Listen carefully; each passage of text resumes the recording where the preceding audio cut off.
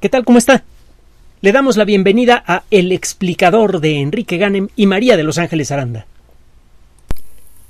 Asimov dijo en alguna ocasión que lo que necesitaba para ser feliz era tener el equivalente a un pequeño puesto de periódicos que él pudiera cerrar y que estuviera lleno de libros. Otras, otros grandes personajes, otros grandes escritores han eh, manifestado ideas similares. Por ejemplo, Julio Verne, que narró viajes alrededor del mundo, viajes al centro de la Tierra, viajes a la Luna, solamente viajó una vez. De joven, eh, quería escapar de, de, su padre, que era un banquero, muy exitoso, pero un tanto estricto, y se fue primero de polizón y luego de grumete en, en un velero, el Coralí, estuvo de, viaje un tiempo, regresó a su casa, eh, se eh, arregló con su padre, con el que tuvo algunas diferencias un tanto fuertes, y le prometió no volver a viajar. Y así lo hizo. Le he platicado la historia que después de una discusión muy fuerte, el padre le dijo, bueno, tú quieres ser escritor, demuéstrame que eres capaz, ¿no? Y él le dio un manuscrito de algo que estaba escribiendo casi casi en las rodillas, que se llamaba Cinco Semanas en Globo. ¿Ha leído Cinco Semanas en Globo? Si no, seguramente le va a pasar lo que le pasó al papá de Julio Verne. Al día siguiente, el señor Verne, con los ojos rojos, cansados porque no había podido pegar eh, párpados en la noche, no pudo soltar el libro, le dijo a su hijo, mira, toma, dedícate a escribir, está bien, está, está bien, síguele. Y vaya que le siguió el Señor. Verne nunca viajó. Él llegó a construir una pequeña torre en su casa y en la punta de la torre tenía un pequeño estudio. Las ventanas de ese estudio, que todavía existe, por cierto, me gustaría un día verlo, ser muy interesante, eh, tenía ojos de buey como si estuviera en el interior de un barco y en medio de ese estudio tenía, bueno, tiene un timón que obviamente no sirve para nada y sirvió para mucho. Ese timón que no estaba conectado con ningún eh, eh, con ningún dispositivo de dirección, ese timón que nunca dirigió el, viaje de ningún barco, sirvió para orientar la imaginación de Verne, una imaginación que alcanzó el fondo de los mares y la superficie misma de la luna y hasta el centro de la Tierra leer ciertamente es una actividad maravillosa, fascinante. Cuando usted lee, usted puede viajar a los confines del espacio y del tiempo. Puede ver, por ejemplo, Europa no solamente con los ojos de una persona que actualmente vive allí, también puede ver los ojos de puede ver a Europa o a África o a cualquier territorio de nuestro planeta desde la perspectiva de alguien que vivió en el siglo XIX, el siglo XVII. Cuando usted lee, tiene acceso muchas veces a los pensamientos más poderosos y más íntimos de personas que ya se convirtieron en polvo. Es como traerlas de nuevo a la vida. Cuando usted tiene el gusto y la posibilidad de leer, puede vivir muchas vidas en una. Es algo realmente muy bonito. Es algo que estamos dejando atrás, desgraciadamente y con consecuencias terribles. Si usted lee Fahrenheit 451, entenderá que eh, lo que dijo en su momento Ray Bradbury sobre esta novela es cierto. Eh, alguna vez le reclamaron, oye, ¿por qué escribes una novela tan fea? ¿De veras crees que va a ser así nuestro futuro? Y él dijo, no, no, no estoy escribiendo esta novela para describir lo que yo creo que va a ser el mundo futuro, es para evitar que el mundo futuro se vuelva se vuelva así. Pues ahí vamos, ¿eh? Hay que tener cuidado. El mejor antídoto contra la fantasía, contra, eh, contra el fanatismo y todas sus eh, y todas sus manifestaciones hermanas como la violencia, la injusticia, el racismo, el mejor antídoto es la lectura y la discusión libre de la lectura con otras personas, desde luego. Bueno si la lectura por sí misma, la lectura por sí misma enriquece. de cualquier tema. Si amplía usted los temas de lectura, su vida se enriquece aún más. Pone un poquito de literatura clásica, pone un poquito de ciencia ficción, un poquito de fantasía, un poquito de todo. Su cultura se hace más amplia.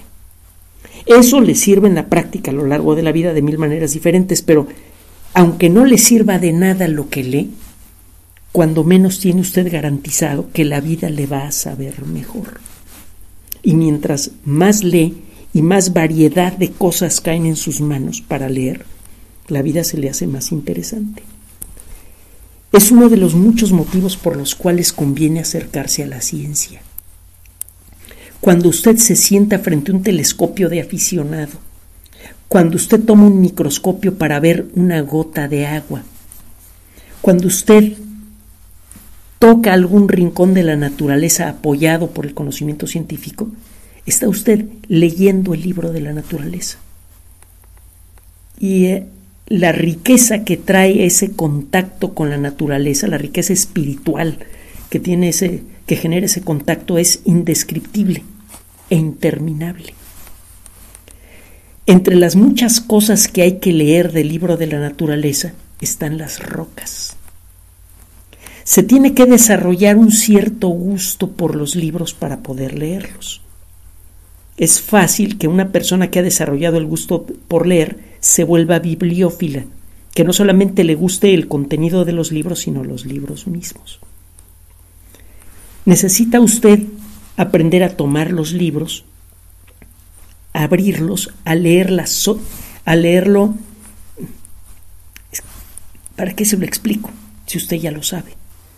El, el, contacto con el libro en las circunstancias apropiadas es especialmente enriquecedor y es algo que hay que aprender. Y lo mismo pasa cuando quiere usted leer una roca.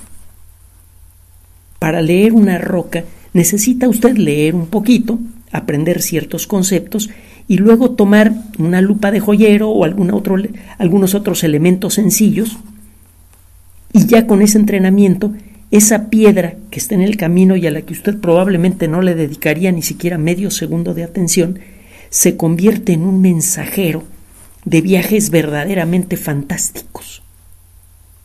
Tiene tiempo que sabemos cómo es la vida de las rocas.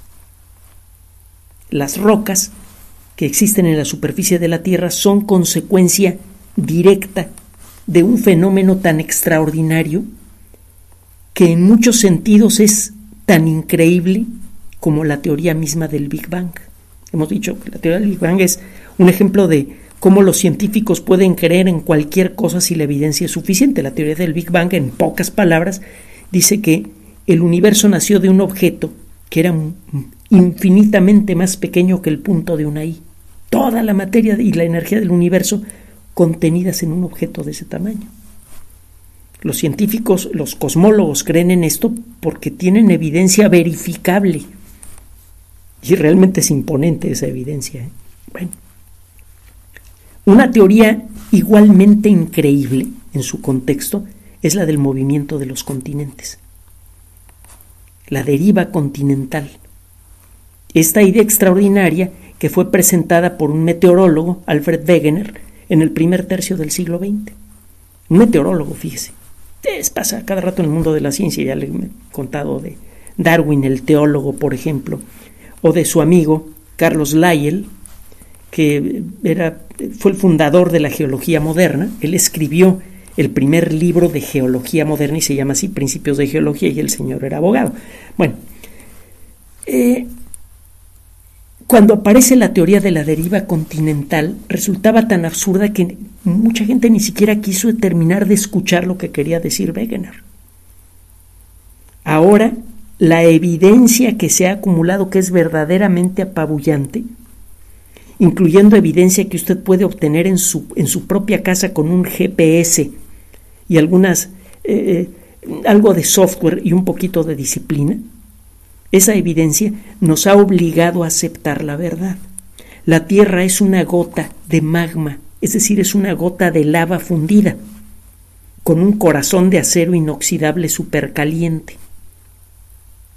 Está rodeado por una corteza delgadita, delgadita como la que se hace en el atole. Si usted no sabe lo que es un atole, busque en la Wikipedia. Es una eh, eh, bebida dulce muy, popular en México. Si tiene usted una tole de chocolate, usted ya puede tener una idea mental de lo que creen los geólogos con respecto a la Tierra. Esta bebida que es muy espesa fácilmente se vuelve sólida cuando se enfría un poco. La superficie de una taza de atole se vuelve sólida. Si usted pone un pocillo lleno de, de atole de chocolate y lo deja enfriar un poco, se va a formar una corteza rígida en la superficie.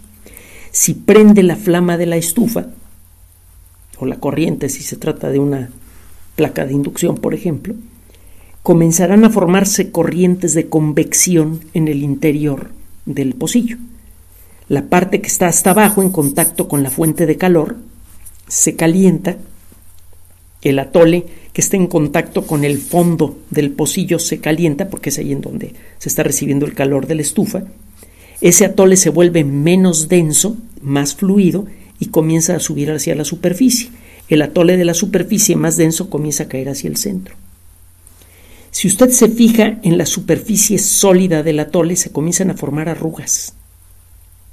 Y si usted le toma foto a esas arrugas y un día tiene la oportunidad de volar en un avión, en un día despejado, y le toma fotos al terreno que se ve abajo, si vuelve usted sobre terreno montañoso, va a encontrar que las arrugas se parecen mucho. Y es por eso, porque la Tierra, al igual que el pocillo de atole, es mayormente líquida, podemos semilíquida está hecho de un material fundido. El movimiento de este material fundido arrastra a la delgadísima corteza de la Tierra. Esta corteza está dividida en, costras, en placas continentales, como le llaman los geólogos, y estas planchas continentales se mueven a una velocidad que puede ir desde unos 2 o 3 centímetros al año hasta unos 10 o 12 centímetros por año, en promedio. Cuando dos placas se encuentran de frente, puede suceder que ambas se arruguen, o puede suceder, si una de ellas es más densa que otra, que una de ellas se clave hacia el centro del atole o hacia el centro de la Tierra, según el caso. La otra placa se arruga. Eso es lo que pasa en la costa occidental del continente americano y en muchas otras partes del mundo. También puede usted tener dos placas continentales que se deslizan una con respecto a la otra que esto es lo que pasa, por ejemplo, en California, en la famosa falla de San Andrés. Y puede usted tener otras formas de contacto entre las placas continentales.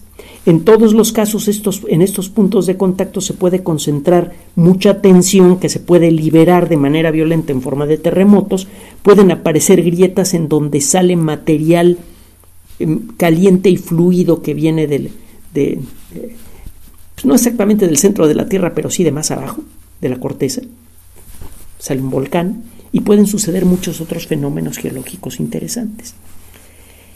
La realidad de este fenómeno, le digo, ha sido verificada de mil maneras diferentes. A pesar de que sabemos que este fenómeno ocurre, todavía no lo entendemos con suficiente detalle. Y es un fenómeno crucial para entender por qué la Tierra es habitable, entre muchas otras cosas. Resulta que nuestro planeta todos los días está perdiendo toneladas y toneladas de atmósfera. Muchas moléculas de agua son destruidas por la acción de la luz ultravioleta que viene del Sol.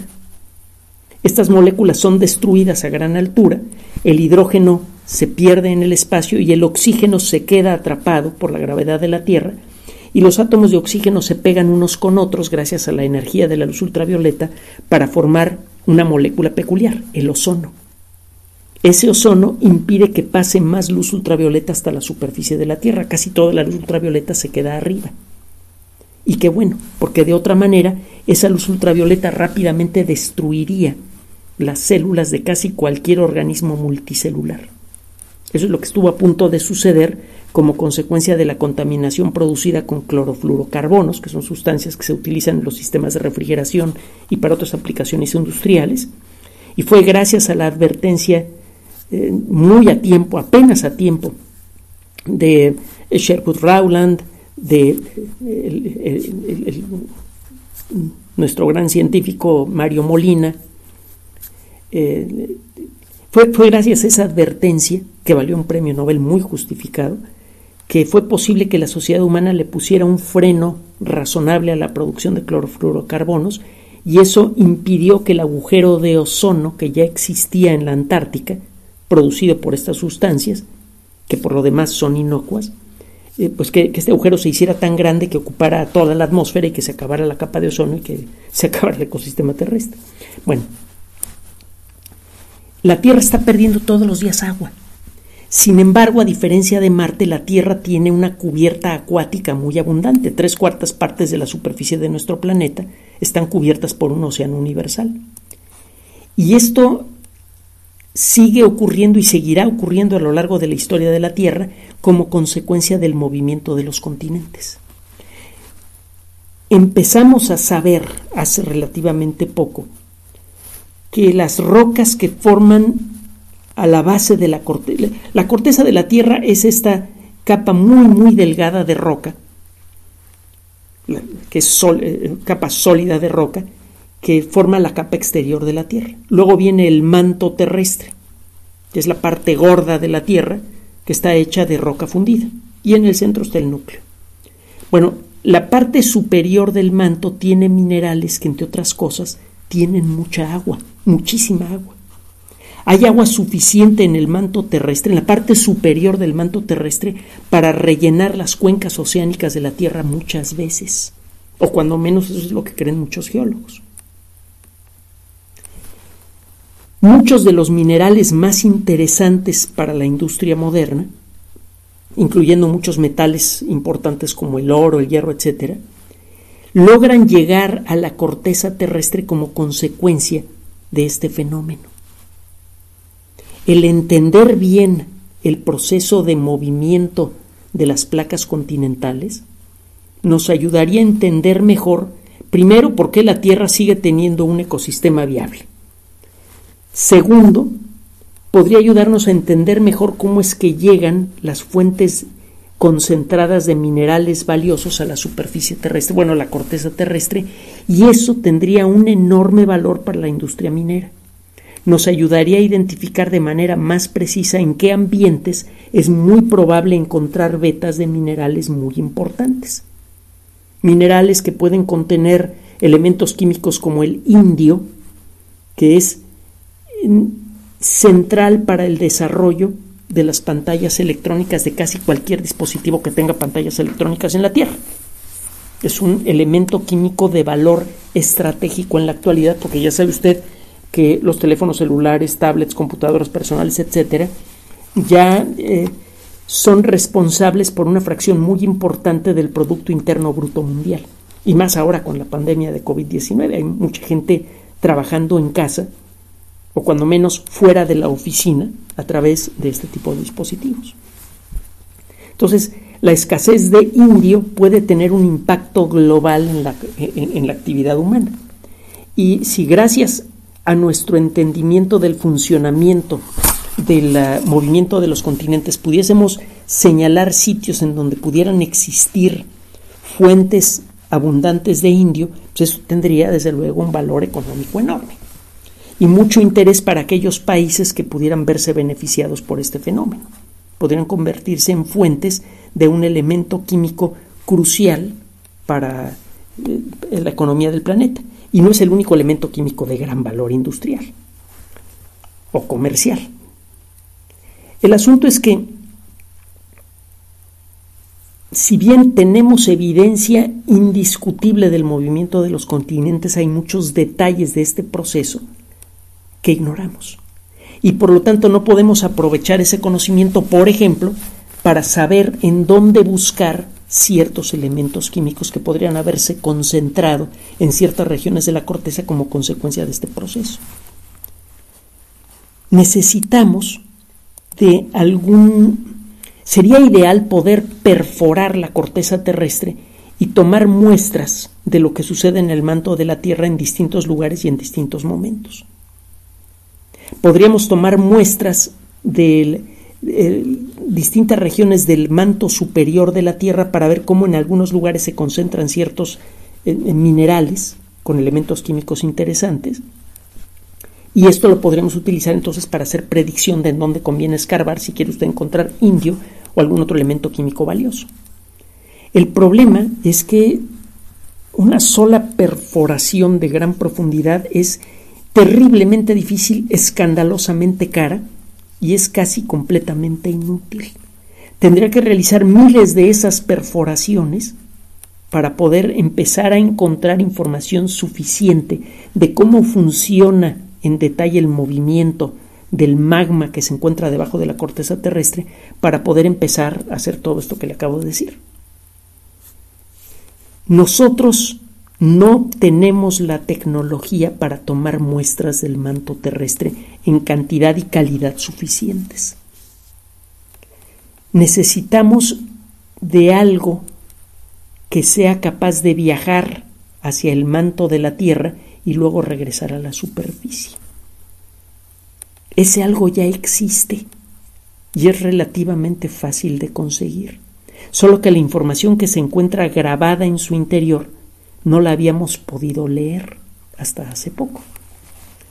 Un grupo de investigadores, expertos en geología, de una universidad americana, acaba de publicar en una de las revistas de mayor prestigio de ese país, es una revista que tiene alcance mundial, un trabajo muy interesante en el que comienzan a leer la información que se ha acumulado en unos granitos minerales que han encontrado en Nueva Guinea.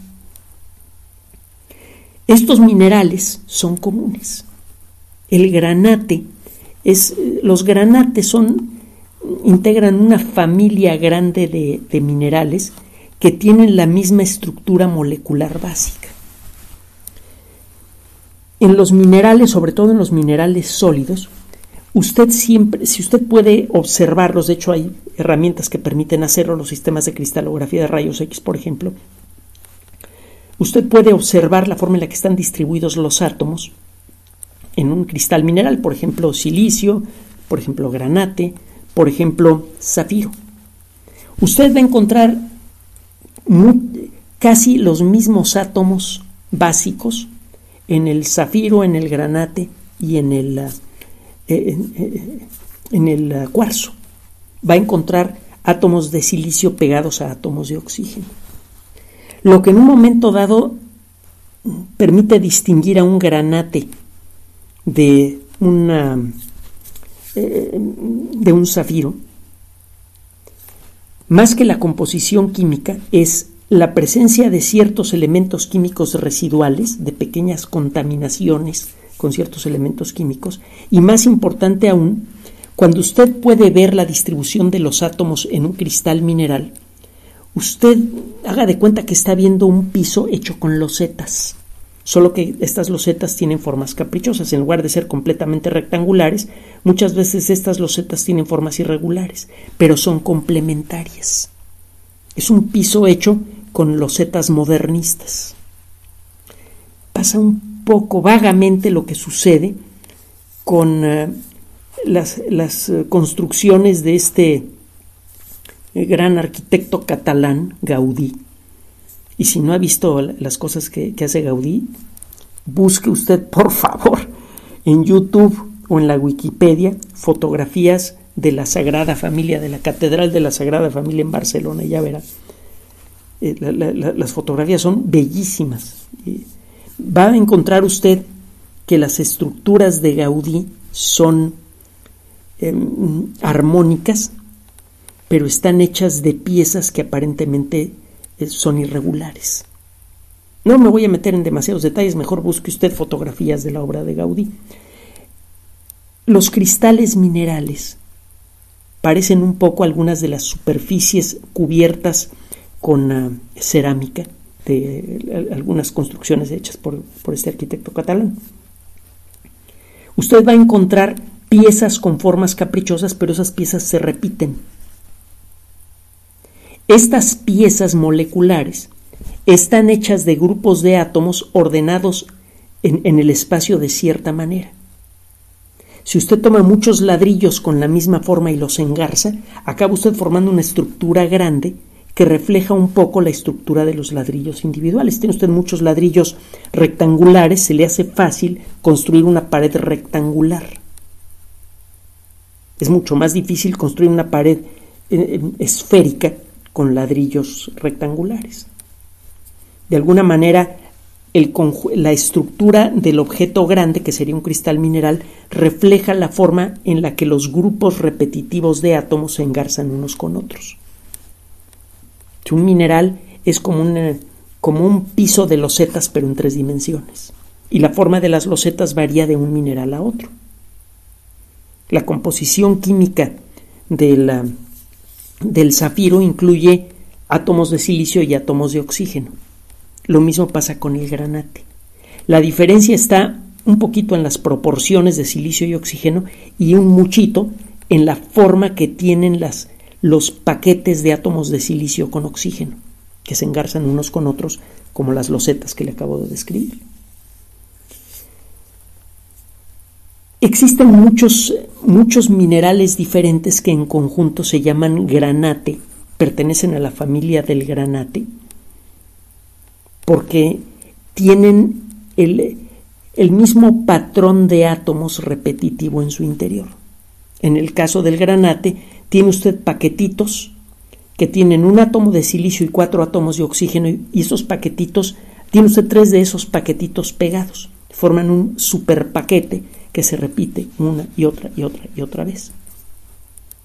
Cualquier mineral que tenga estos paquetitos que están hechos a su vez de tres subpaquetitos y cada uno de ellos tiene un átomo de silicio y cuatro de oxígeno, se le llama granate. Va a encontrar usted varios nombres, por ejemplo, la almandina. Hay un mineral que se llama piropo. La lista es grande.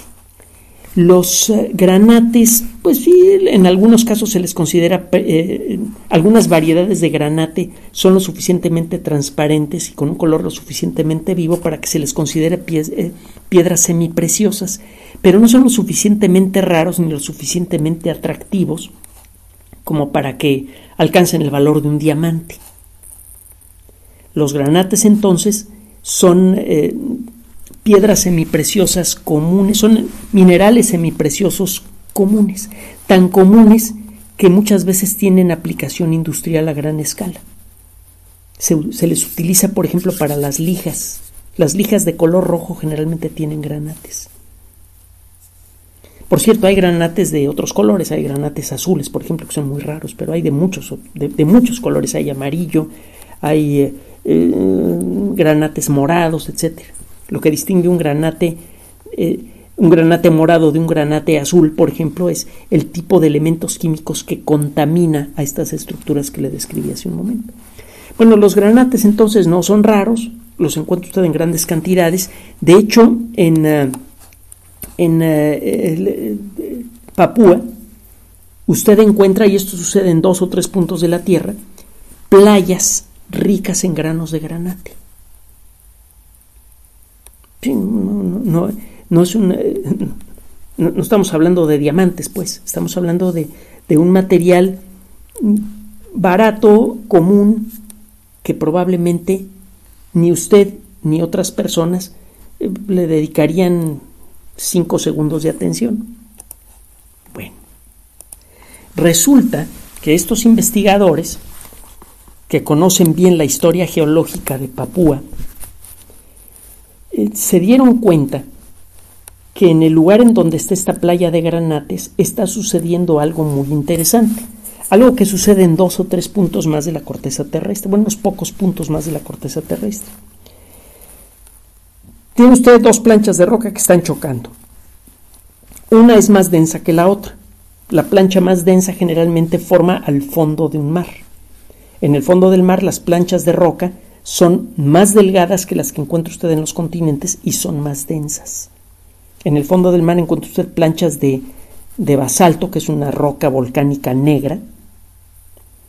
Y en el, el, continente, si usted rasca debajo de la superficie de los continentes, acaba usted encontrando granito, es lo que forma el corazón de los continentes. Es una roca también de origen ígneo, es decir, también es lava que se ha endurecido, la, lava fundida que se ha endurecido en circunstancias peculiares, y esta roca es menos densa que el basalto. Cuando una plancha de basalto choca contra una plancha de granito, la plancha de basalto, que es más densa, se clava hacia el centro de la Tierra. Es lo que sucede de nuevo en la costa occidental de México, por ejemplo. Bueno, cuando esto sucede, la plancha de basalto que se está clavando hacia el centro de la Tierra puede incluir, eh, entre otras cosas, granos pequeños de granate, pequeños cristales de granate. Esos cristales de granate comienzan a registrar en su estructura, comienzan a crecer como consecuencia del cambio ambiental que experimentan al irse metiendo hacia el manto de la Tierra, y las capas concéntricas que se le van formando a estos granates comienzan a registrar el ambiente físico y químico en el que se formaron. Si usted analiza estas, bueno, estas capas de estos granates comienzan a clavarse hacia el centro de la Tierra y en la gran mayoría de los casos llega un momento en el que la roca que los lleva se deshace y estos granates se integran al manto de la Tierra y algunas veces se funden. Pero puede llegar a suceder, si las circunstancias son apropiadas, que estos granos de granate que han viajado varios varias docenas de kilómetros dentro del manto de la Tierra vuelvan a salir a la superficie. En algunas circunstancias, por la forma en la que se deforma la roca que forma el continente en donde está sucediendo este choque que le acabo de describir, permite la salida del material que ya se había metido hacia el manto. Por ejemplo, aparecen grietas y aparecen volcanes.